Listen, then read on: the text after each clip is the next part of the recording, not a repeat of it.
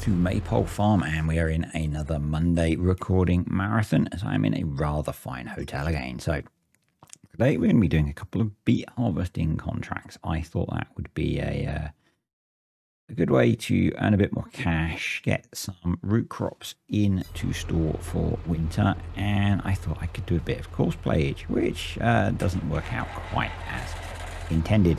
Um, if you saw me do the video on the this um, classic contracting setup, the reason there's another beet harvester is because uh, it might have changed actually. When I set this up, the version of Better Contracts that was out, if you didn't have something that the game recognized as a beet harvester, it'd throw a bunch of errors. So that's why that's there. Um, actually, that might link to a problem that I have in a moment, but let's just get all the kit set up. I'm going to do this um, contract on field one and field two they are opposite each other. That means we can get twice as much kit which means this will be uh, a little bit easier. As I said I had planned to use courseplay for this. Let me just show off some of my reverse driving skills with a dolly trailer.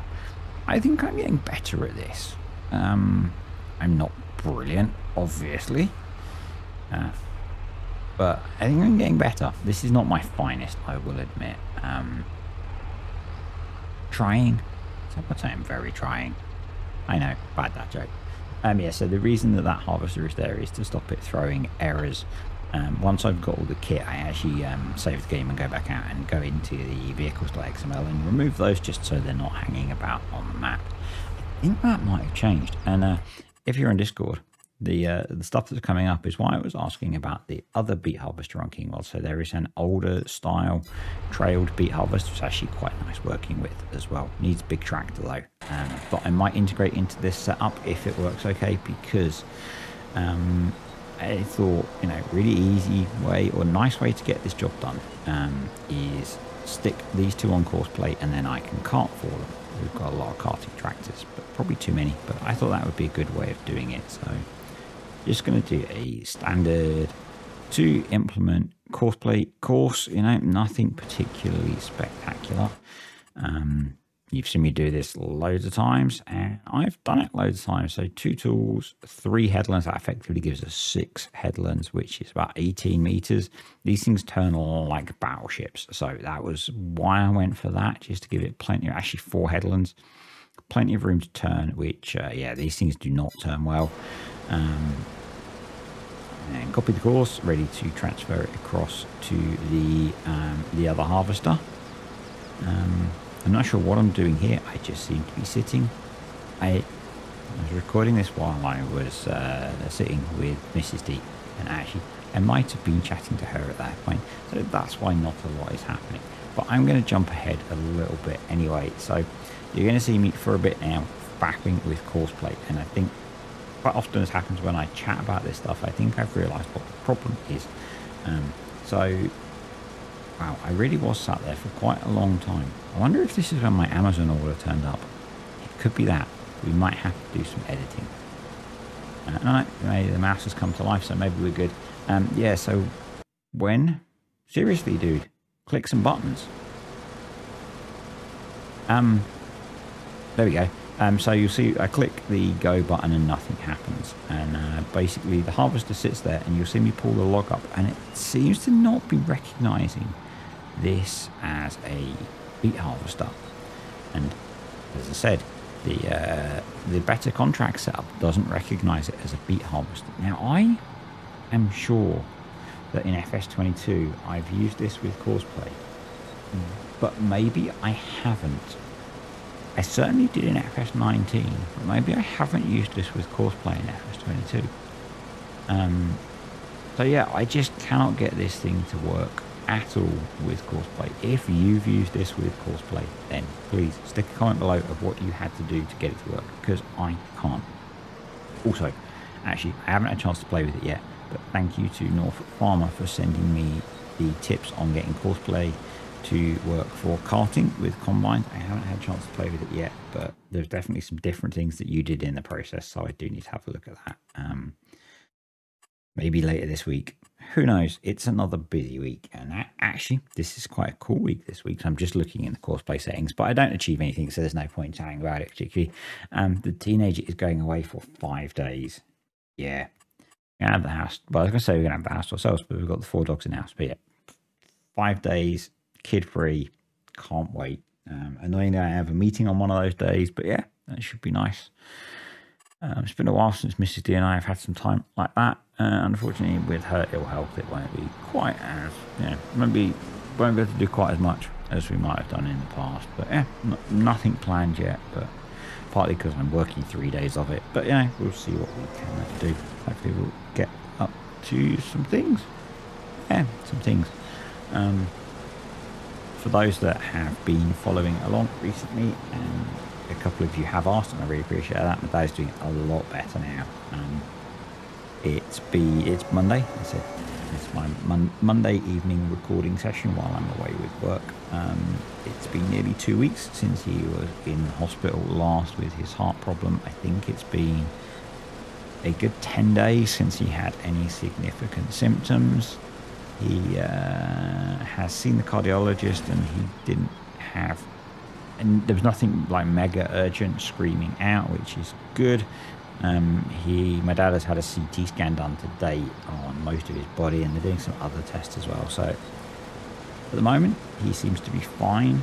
Um, the medication that he's on is working. And he's back to normal, um, and they're doing tests to find out what might have caused it. So, it's a lot, much, much, much happier about that. Um, yeah, that's kind of cool. Um, the downside well, not the downside. It, it, life seems to be throwing stress at me at the moment. I'm still faffing. I think at this point I actually give up. So what I'm going to do, I'll come back to the story. What I'm going to do is just run a bunch of headlands and then we use base game workers to do this job because yeah, I mean, that will get the job done. Um, yeah, life keeps throwing stress at us. Um, last week, Joker, the old greyhound, had problems with his back hurting and his legs. I don't know if I said about that or not. Uh, Saturday night, Mrs. D was up with him most of the night, with him being sick. Um, yesterday, I spent most of the day with him. He was sick a few more times, and then by the evening, he seemed to settle down. Uh, he's been okay today so far, apparently. Um, I have not heard from Mrs. D in a little while, and I seem to have no phone signal in this hotel room, which is kind of crap. So, am I allowed to say that? I don't know. So yeah, hopefully he's been doing okay. Um, I'm in a different hotel to my usual one um, because I kind of forgot to book the other one. So yeah, I seem to have no phone signal, which is going to be a bit of a nightmare. Um, something else that I thought it just popped into my head to talk about, and I've forgotten instantly, which is kind of annoying. Um, old greyhound not spoken to me as So I'm just trying to work through what it was it made. It was something that I watched in a video and I really can't remember it. Oh well, it'll come back to me. Um, yeah, so that that's kind of that. It's a bit, a bit. He's old. He's very old. He's very well. I say very. He's 11. Um, he had a very hard life. He was in kennels for racing kennels for seven years, um, and then in I think seven years or five years, and then in adoption kennels for another two years waiting to be adopted. Um, it took a very long time for him to be adopted because he has what is called an undershot jaw. His bottom jaw is not uh, not long enough. Um, so we thought it looked really cute. Some people didn't like it. He's very big as well. Um, and weirdly, people do not seem to like dogs with black fur. Um, they are much less popular for adoption um, as black fur. So he, uh, he was kind of overlooked for a few years. Um, we fell for his story of he'd been stuck in kennels for two years. So yeah, I have remembered what I was going to talk about. I'll come back to that. Um, yeah, so we kind of fell for his story and we ended up adopting him. And uh, he's had a lot of health problems over the years. I've spoken about quite a lot of them in different places. Um, he had something called pancreatitis, which I I've mentioned, which is where he's essentially his body started digesting his organs, uh, which was pretty serious. He was in intensive care for quite a while with that one, and uh, since then he's not been the healthiest dog in the world, and he has a lot of issues with uh, digestion and stuff like that. So yeah, that's that. The one that I remembered I was going to talk about YouTube and swear words. Um, I don't think I've spoken about this in a video. Uh, it's one that confuses me, so I just said crap a little while ago. I don't know if I can say that. And the thing that, that triggered that is I might have spoken about it. Something YouTube recently changed their policies on swearing. Um, and if you swear in the first few seconds, it can affect monetization. And then there's another little window where you can do a little bit more. And then I think beyond about 30 seconds, you're generally okay. But the bit that, surprised me as we get on with beet harvesting and we're on the up down rows now is, um, and this has got to be an American thing. I think, because I don't consider them to be swear words, Google, I guess, or YouTube has now classified that hell and damn are not swear words. Now, I don't think in my life I have ever considered damn a swear word. And again, hell, that is, maybe I was brought up in a really rough part of the world. Really. Um, but hell is a swear word. If it is to you, I apologize that I am swearing at you so much, but for me, no. Um, that one really confused me. Um, and I guess it's maybe a cultural or a language thing. Um, and yet, and there are lots of other weird cultural things that, you know, I could say and people would find massively offensive, or someone could do and I would find massively offensive, and they would think it was absolutely fine. Uh, yeah, so that, that, that, that, one really confused me. And uh, I suspect there's loads of things like that where, you know, I probably say, probably happens, I probably say things that I don't think are particularly offensive and some people find them massively offensive. Um, yeah, and, I guess I do see it in some ways when, you know, people say stuff that they don't mean to be offensive and actually it does seem a little bit offensive. So maybe, maybe, but yeah, yeah certainly hell and damn are not things I would consider swear words. And I would have used them, I'm using them a lot now, I would have used them a lot in the past without considering them to be swear words. So yeah, that's uh, that was one that kind of threw me, and uh, yeah, very strange, very strange. Yeah.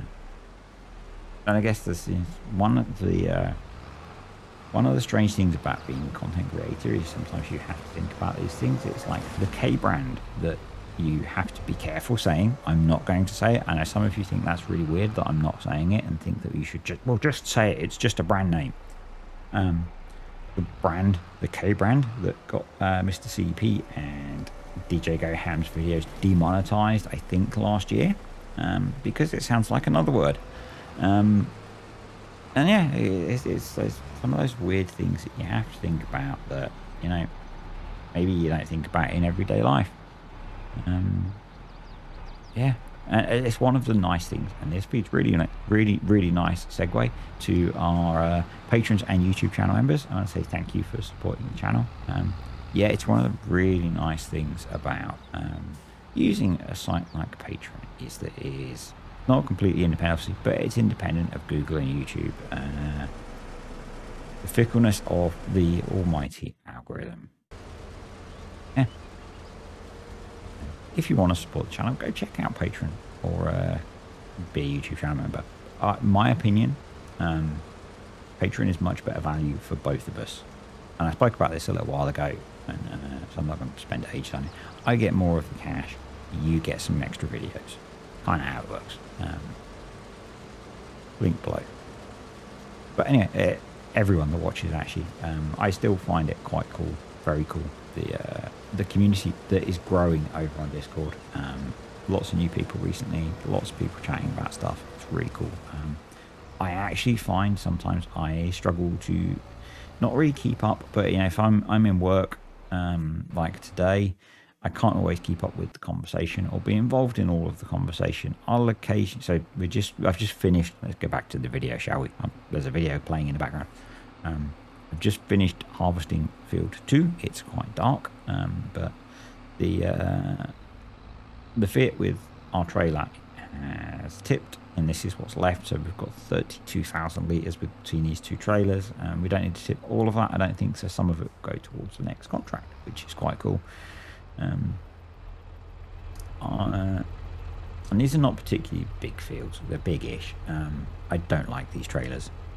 I think I might do a revision.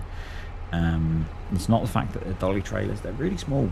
Um, considering how much you get off of... So we had to deliver over 200,000 litres of sugar beets um, with trailers that hold, you know, this double trailer setup holds 16,000 litres. It's just painfully slow. So, um, along with updating the harvesters potentially to something different, I might change the tra trailer combo that's in this setup to uh, something that can haul a bit more. We'll see. I might, I might just change it on the bigger harvesting contract fields. I'm not sure if I thought the I thought the double the big field setup had two harvesters in it, but I'm now wondering whether it does or not. I need to go and have a look at some point. Um, yeah, so this will go towards some of the some of field one as well. And I've totally forgotten what I was talking about. Discord, yeah. Um, partly it's got busier, but not necessarily that.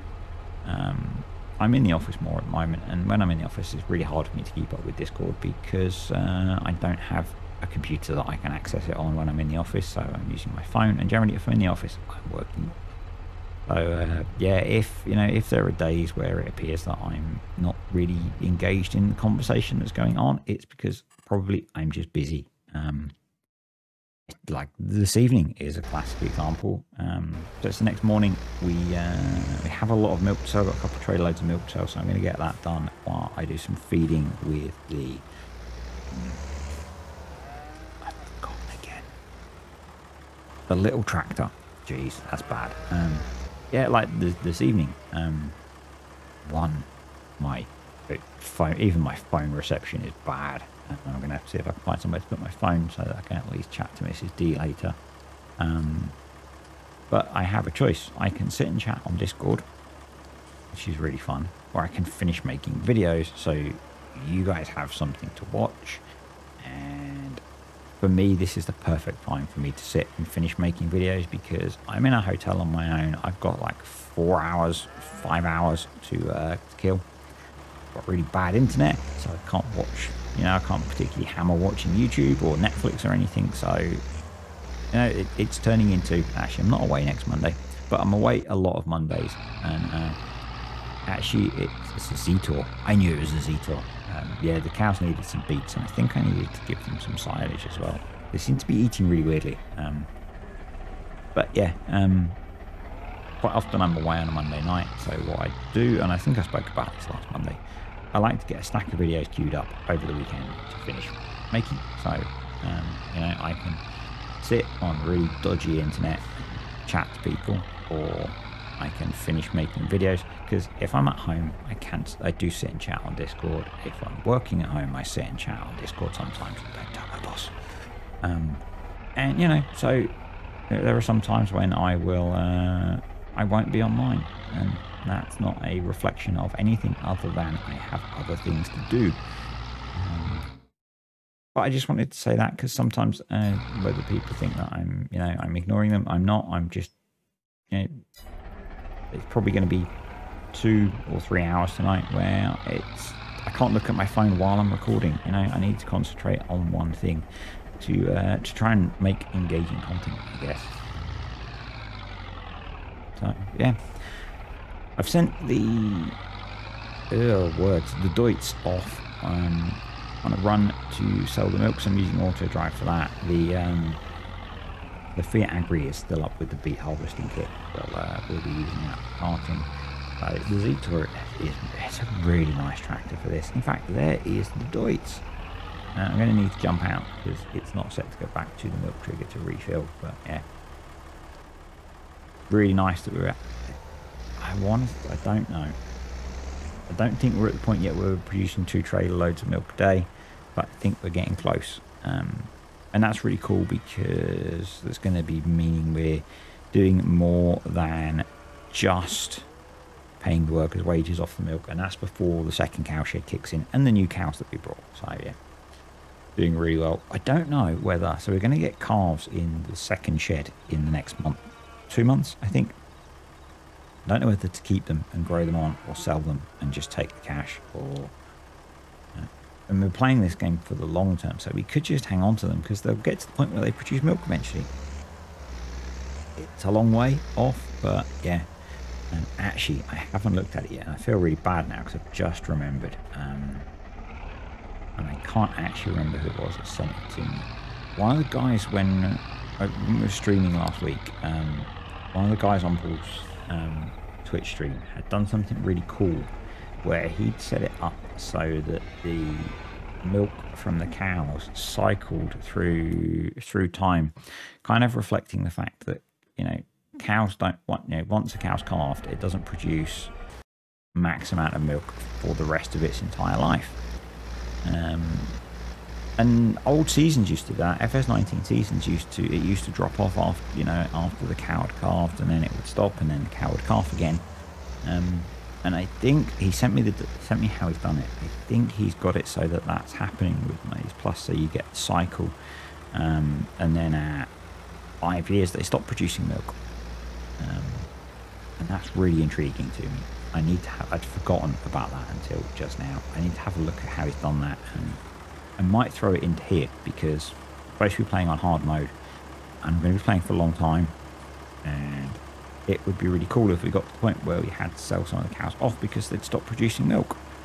Um, so yeah, I think I'm going to have a look at that at some point and integrate that in. Um, don't know if I can share it because it's work that he's done, and which means I might not include it. So one of the things that I really don't like is including stuff that I can't share with people.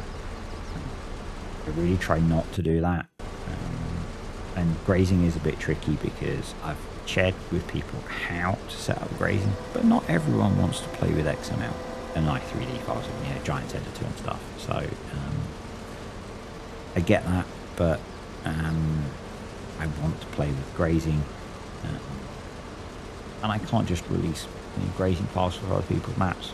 Uh, Calmsden ones, it was like, easier because uh, Oxy released those because Oxy's farming, your link to the farming agency so we could do it through that. Um, I think I gave them to Paul, Paul gave them to Oxy, Oxy released them. That works. Um, Attingham, I haven't. I, I spoke to GB last year about releasing grazing files, and he asked me to wait for the update. Um, I did send him a question back in October, which he hasn't answered, so I assume he's just very busy. Um, no idea where the update is to Attingham. Um, and so I can't release those. And you know, I get that it's frustrating for people. Um, it is what it is, really. I guess. I'm hoping that as more maps come out in the future, people will set them up so they support grazing. I'm hoping that as people release pastures, they will support grazing. I had planned, and I didn't get around to doing it, I had planned over Christmas to make a bunch of different size and shape pastures for cows and sheep. Um, and maybe horses. Horses are so, cows and sheep predominantly um, that supported grazing. So you could stick them in a field and you'd get, you know, you could kind of simulate moving your cows around and stuff. I never got around to doing it because I got ill over Christmas and I really didn't feel like doing very much at all. Um, and I just haven't had time since. God, this this year has been so busy and so much has happened. And so here, this little plot of land is really intriguing to me. It's a little way from the farm, but 27 grand, it's a nice little plot of wood, of woodland. Yeah, I'm, I'm curious about that. We may come back there at some point. Um, yeah, this year has been so busy, you know, with Dad being ill and Joker having a couple of instances of being ill and then work's been quite busy this this last few weeks. and uh, I'm back.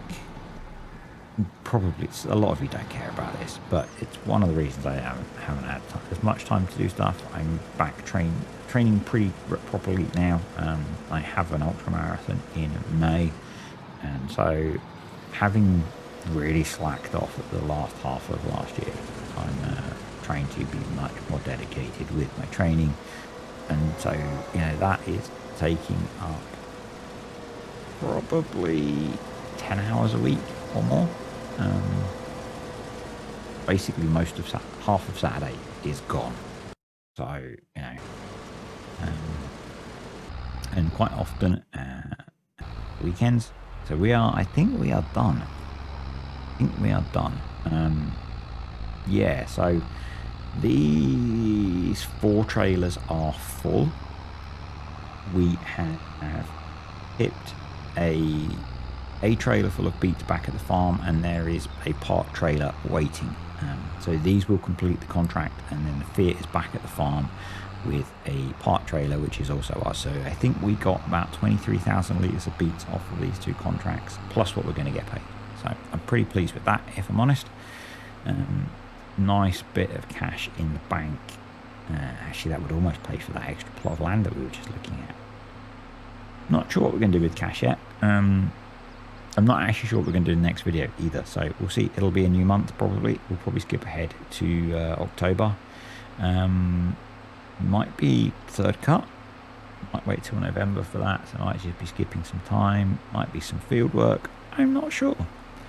Um, we're still going with the whole we'll just log in and play. So it might be more contracts. The other thing i've done is i've switched lazy farmers off for harvesting contracts. So the rest of the fields should get harvest will probably get harvested. There are a lot more harvesting contracts already which means there'll be some other ones we can play with like some cultivating and some seeding and some stuff like that. Um, yeah one of the downsides of leaving lazy farmers on is the fields don't get harvested so you don't things don't cycle through. So um, I might end up turning it back on all of them because there's quite a lot of contracts on here anyway. There's always baling contracts. I might end up doing a baling contract next month. We'll see.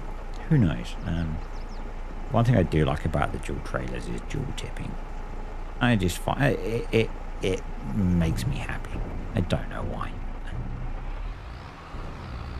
And I kind of wonder, actually, thank you to I haven't looked yet. Whoever it was who told me uh, after the Ohio video about uh, Millennial Farmer talks about the mechanics of folding corn headers. I've got to have a look at that. That's really cool. What inspired me thinking about that was I wonder about the. I'm assuming, you know, the center of gravity must be fine, but I guess that's why you don't tip very far because otherwise your center of gravity would shift a long way and your trailer would start to tip a little bit. They're real trailers, so it must work. So yeah.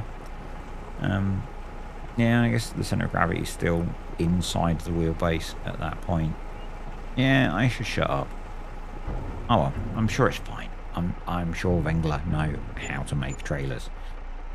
do it in real life. I don't, so I should probably just shut up and uh, get back to talkie talkie. Um, so let's uh, redeem these two contracts. So nine and a half grand and eleven and a half grand.